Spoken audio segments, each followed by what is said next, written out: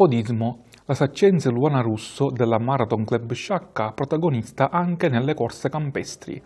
Dopo l'ottimo esordio a Sciacca nella prima tappa del Grand Prix regionale Fidel dello scorso 2 febbraio, dove si è piazzata quinta assoluta tra le donne e seconda nella categoria SF35, e dopo la buona prova dello scorso 9 febbraio ad Acireale, seconda tappa del Grand Prix, dove si è piazzata al decimo posto nella classifica generale donne e seconda nella categoria di appartenenza in base alla fascia d'età, ieri è stata superlativa anche sullo sterrato a Marsala. Dopo uno stop forzato, Luana Russo si sta riprendendo alla grande, raggiungendo il top della forma.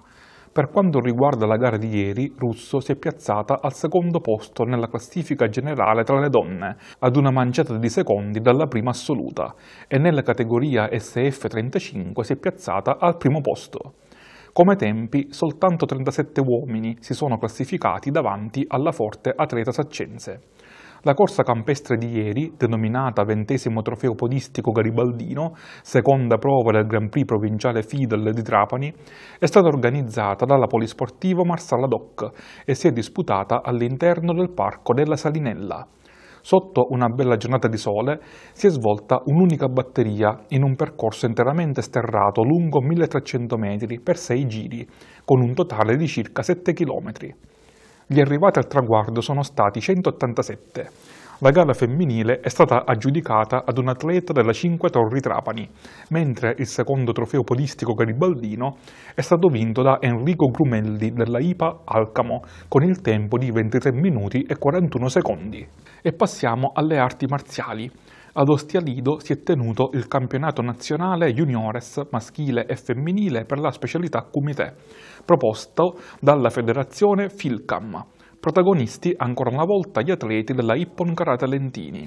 Irene Marturano ha conquistato una splendida medaglia di bronzo, unica nata nel 2005 in un podio connotato da atleti del 2003, cosa che la conferma tra i migliori atleti italiani in questo periodo. Per Marturano quindi ancora un podio, dopo le ottime prestazioni e terzi posti a Jesolo, Budapest e Follonica. Quinto posto per Andrea Danna, che si è dovuto arrendere nella finalina per il bronzo. Settimo posto per Simona Di Gaetano e buone prestazioni pure per Beatrice Curreri, Paolo Propizio, Giacomo Cardinale, Mattia Ruvanzeri e Giuseppe Gulino.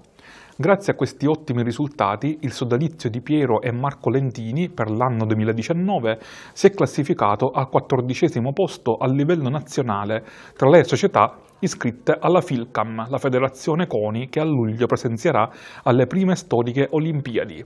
Su 1350 società tesserate, per la Ippon Karate Lentini uno straordinario quattordicesimo posto, prima società agrigentina e prima società siciliana in classifica. Una soddisfazione che i tecnici Piero e Marco Lentini condividono con i loro brillanti atleti.